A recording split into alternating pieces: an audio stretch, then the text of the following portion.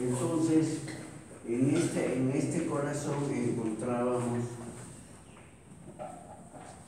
el mesango que llegaban al corazón y se anidaron, se domiciliaron a nivel del nodo sinusal, a nivel del sistema de conducción, a nivel del nodo AB, y después esto, este nodo AB daba el GIS, esto perforaba el anillo ventricular y pasaba, daba las ramas, el GIS y sus ramas. Entonces, este tejido especializado tenía a su vez dos propiedades. Era el de generar potencial de acción que llama la propiedad cronotropa de cronómetro. Eso es la, del, la propiedad del automatismo. O sea, en otras palabras, generar potencial de acción. Y la otra propiedad, si generaba la propiedad esa, es la conducción, la conducción del potencial de acción. Esto se llama la propiedad dromotropa. Además, los dos tejidos podían ser excitados, entonces es la propiedad de la excitabilidad esta propiedad se llama la propiedad vasmotropa. Además tenía una propiedad que es la propiedad del pleinotropa. ¿Qué cosa es la, propiedad de la rapidez de producir la respuesta? O sea, es el DPDT. DPDT. Además de eso, podríamos enumerar otra propiedad, que es la propiedad hormonal. ¿Qué sustancias o qué hormonas podía producir el corazón? Teníamos que producir en forma propia el ANP y también algo del BNP también alguito podía producir. ¿Qué otra hormona producía el corazón? A ver, el, segundo, el primero de acá, la dama primero. ¿Qué otra hormona podía producir? ¿No? La eritropoyetina. La eritropoyetina, todos los tejidos isquemiables producían esta eritropoyetina. Entonces, también producía eritropoyetina, el, Además que eso, ¿qué cosa más podría producir? La angiotentina con su angiotensina local pues, propio. Pero esto estaba más encomendado al hígado y luego también estaba encomendado en su participación al pulmón. Entonces todavía tenemos el sistema RAS local. Entonces eso es, esto que vamos a tratar de estudiar son estas propiedades para lo cual necesitamos trabajar con un sapito. Antes hacíamos el perro, la sociedad protectora de los animales dijeron, no, perro no, pero permiten que hagan la experiencia en los, animalitos, bueno, como la vaquita, después eh, tenemos eh, el chivito, el carnerito, pues eso no es otra cosa. Entonces, ¿qué cosas vamos a trabajar en el sapo? ¿Qué cosas lo que vamos a hacer en el sapo? Vamos a estudiar estas propiedades. Para lo cual primero vamos a trabajar, vamos a, en el sapo, ¿qué vamos a hacer? Primero vamos a anestesiar el sapo. Esta anestesia pues va a ser para que no sea traumático. Entonces, la anestesia es por destrucción del tallo del encéfalo. Entonces este sapo se transforma en qué? En sapo espinal, sapo espinal. Si lo destruyó el tronco del, del bulbo y la protuberancia, entonces se transforma en un sapo, sapo espinal. Entonces ya no se va a mover, ya no va a sentir, entonces vamos a trabajar con tranquilidad. Para lo cual, ¿qué debo hacer? Agarro el sapito así, así, viendo así, se agarran, este es el sapo, ustedes se agarran así y le miran, ustedes van a ver la parte del eje del sapo, acá está el eje del sapo.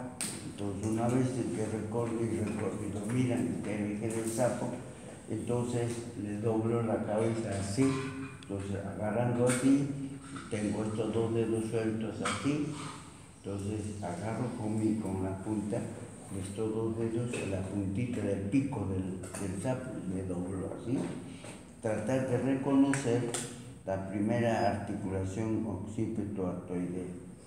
Entonces estos dos ejes se van a apuntar según punto, ¿está bien? Ese punto ya lo reconocí dónde está.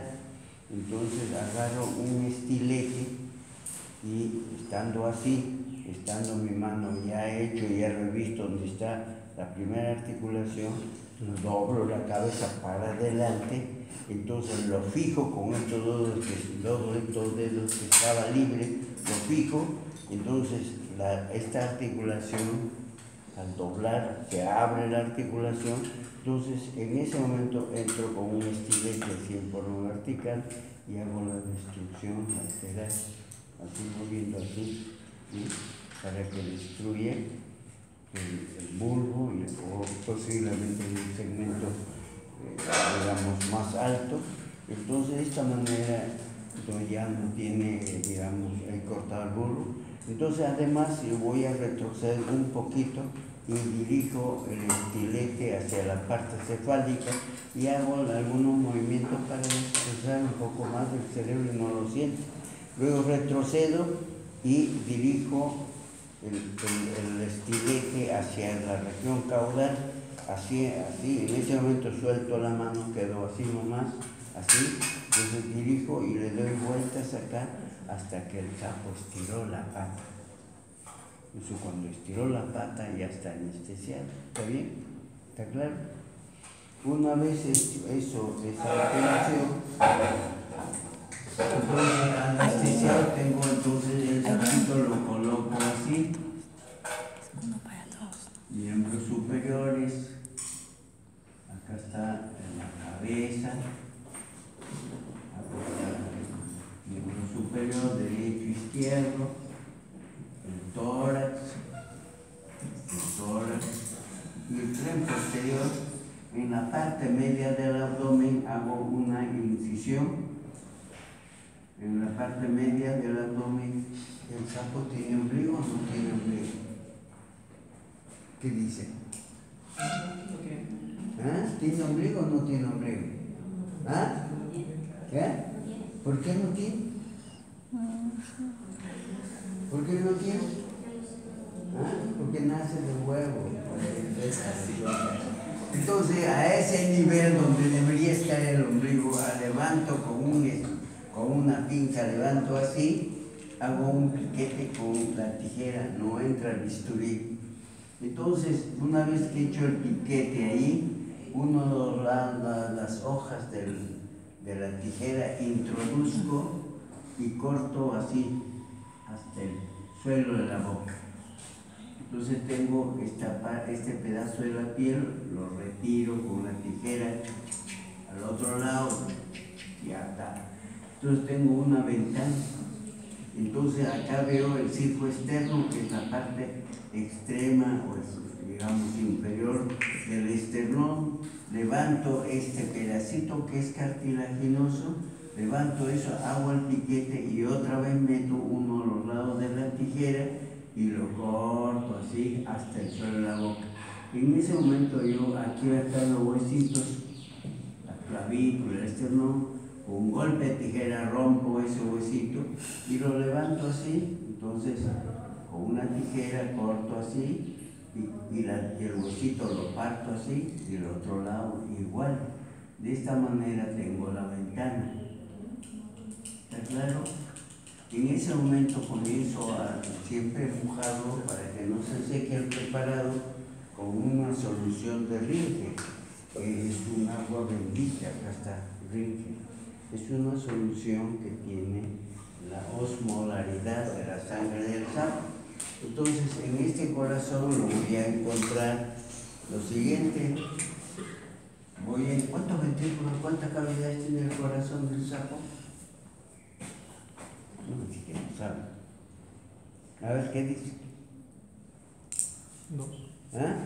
¿Cuántas cavidades tiene el corazón del sapo? Dos. ¿Para usted? ¿No sabe? ¿Quién sabe?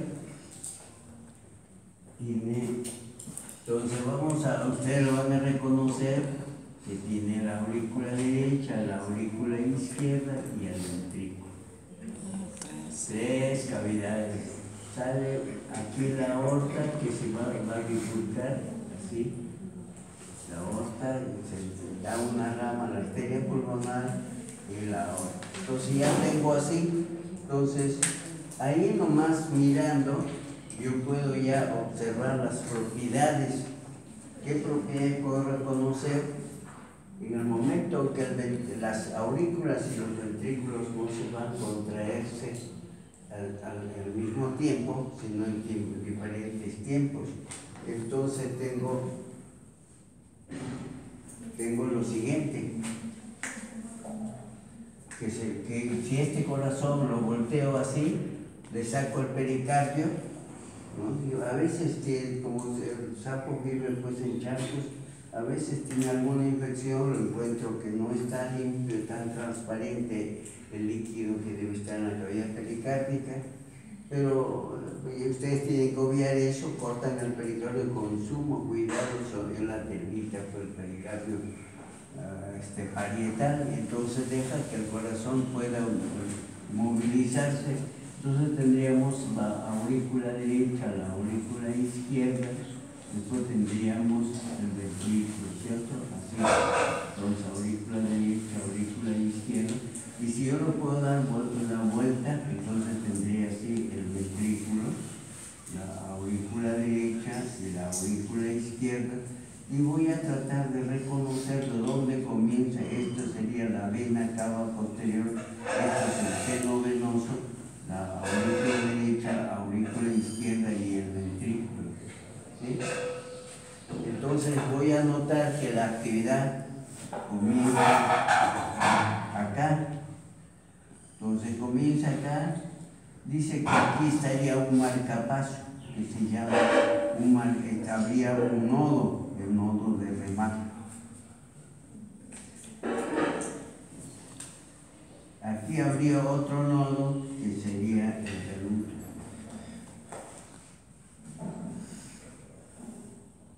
Y aquí habría otro marcapaso de, de remate, glúteo, líder. Entonces veríamos que eh, todo esto lo va a comandar este remate sale la activación, lo van a reconocer, primero se contrae la aurícula, se contrae el ventrículo y finalmente las aurículas y finalmente el ventrículo. Entonces son tres marcapasos. Parecido a lo que ocurre en el hombre, tendríamos nodo sinusal, el tejido de unión, el nodo AB no genera potencial de elección, no hay no, ritmos del nodo AB y habría cualquier punto del que podría tomar el comando parecido al de nuestro organismo. Entonces veo esto, pues lo van a ver, le echan, le abren esto y comienzan con ver cómo se contrae esto, así. Además, yo voy a ver, entonces yo estoy ya con eso, esa secuencia, voy a ver que cuando el vínculo con el ventrículo se contrae, se blanquea y cuando se, se distiende tiene un color rojo vinoso. Entonces estoy tratando de identificar la sístole y por lo tanto la diástole, esto será la contracción y esto será la relajación, ¿cierto? O sea, isotrópica. Entonces ya he reconocido estas propiedades.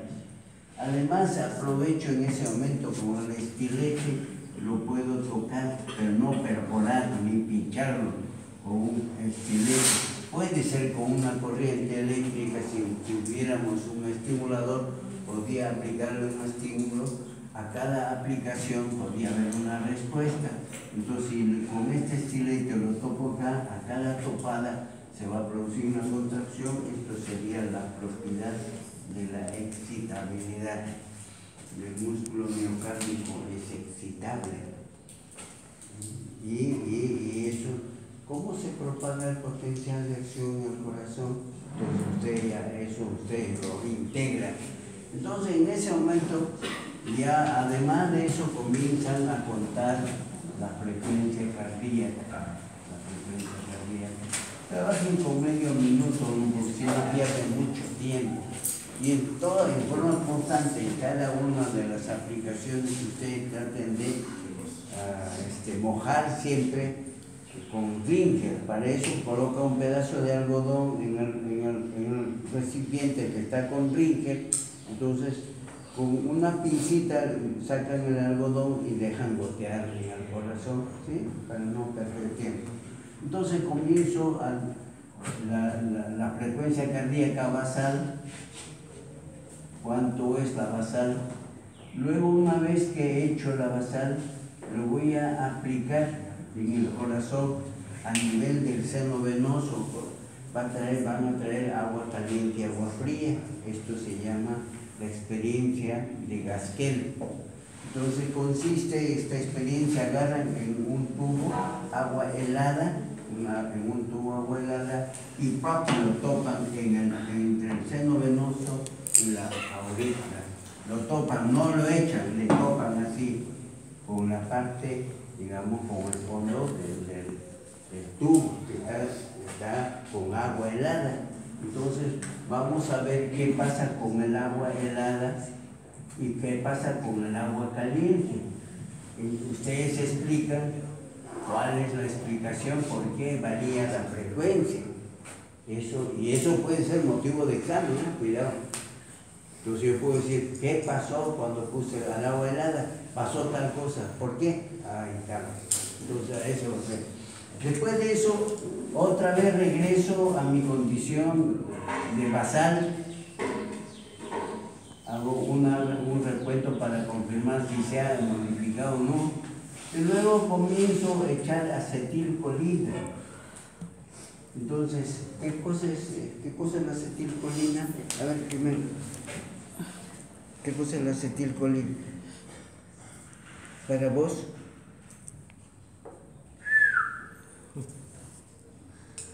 Es el neurotransmisor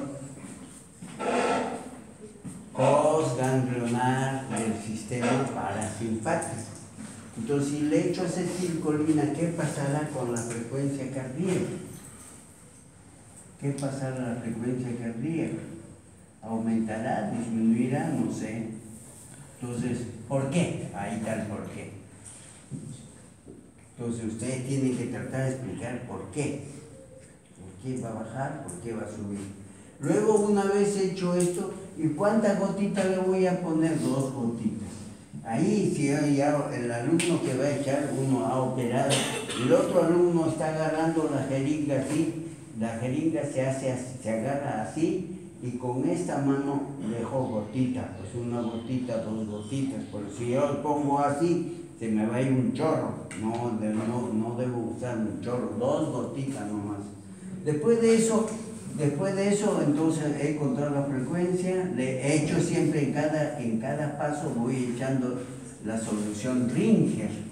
La solución Ringer hemos dicho que es una solución que tiene la osmodalidad del, del, del, sapo. Ustedes saben la osmodalidad del sapo, ¿cierto? ¿Cuánto osmodalidad del sapo? Cuando hicieron ustedes transporte de las soluciones a través de los epitelios, ustedes hicieron, zambulleron al sapo en, sol, en soluciones concentradas, diluidas, en, un, recipiente, ¿cierto? En renal. Entonces, ¿cómo, ¿cómo es que yo puedo explicarme si no sé la osmolaridad del sapo? Imagino que ustedes han hecho. Entonces, lógico, para tener eso tendrá, pues, tendrá sodio, tendrá potasio, tendrá calcio, tiene un poquito de bicarbonato. A veces cuando tengo que hacer corazón como bomba, tengo que usar este, un poquito de glucosa. Y esto debe tener una osmolaridad de 230, pues eso es para el sapo. ¿Y del humano cuánto es la osmolaridad? ¿Ah? 300 está bien, así es 300. Entonces ya, con, pero no existe Rinker para humanos. sin embargo, en el mercado ustedes van a encontrar un Rinker de humanos. Rinker es el apellido del que inventó esa solución. Y en, el, y para humanos, para mamíferos, tirode, tirode para ellos. Entonces, echan ahí, después de eso le van a echar dos gotitas de epinefrina. Epinefrina o también llamado adrenalina, son sinónimos. Entonces, hecho, ¿qué pasa abajo? ¿Qué va a pasar con la frecuencia cardíaca? ¿Por qué? Siempre, ¿por qué? Después de eso le van a echar dos gotitas de atenolol. Y si no hay, echan propranolol. Entonces también van a observar qué pasa con la frecuencia cardíaca y por qué. Ya está. Entonces, pero hacemos una observación, el propranolol es un beta bloqueador, es específico que bloquea al sistema simpático. Entonces, si tengo así un receptor, dice, para, para la epinefrina o adrenalina, entonces el atenolol, el propranolol entra y bloquea, bloquea todo el sistema, todos los receptores beta.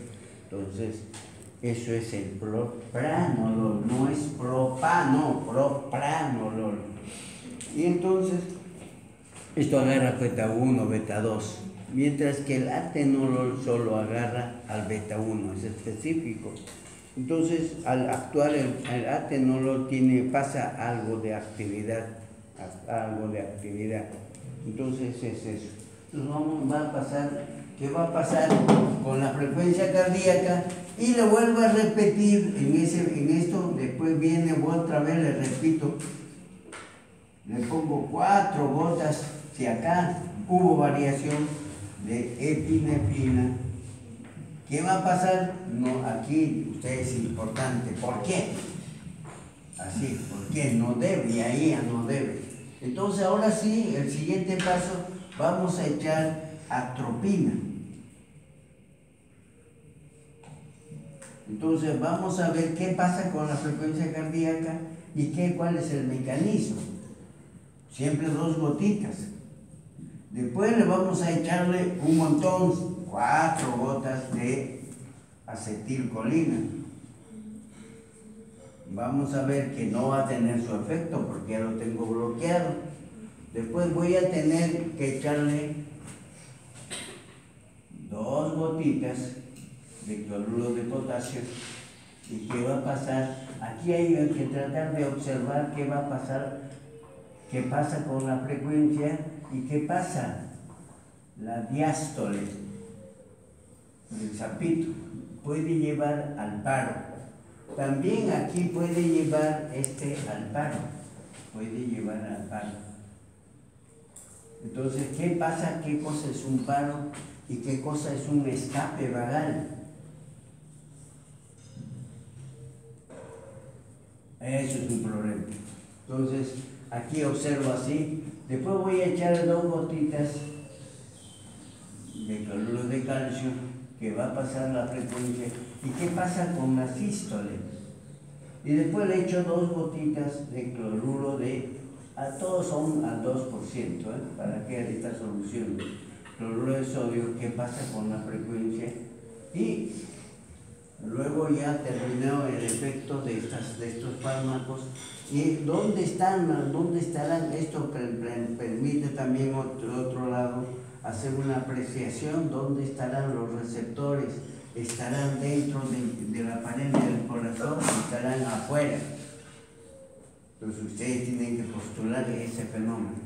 Una vez que han hecho toda la operación, entonces van a hacer lo siguiente ya han visto todo esto, entonces nos faltaría determinar, ya le, ya le he pinchado el corazón y hemos obtenido esta respuesta, después he contado todo el automatismo y lo vamos a repetirlo, y entonces a esta propiedad dromotropa lo voy a hacer las ligaduras de estaños.